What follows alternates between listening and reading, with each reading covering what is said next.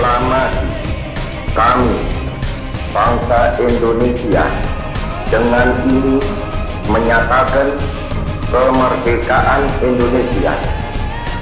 Jakarta 17 Agustus 1945 atas nama bangsa Indonesia Soekarno Hatta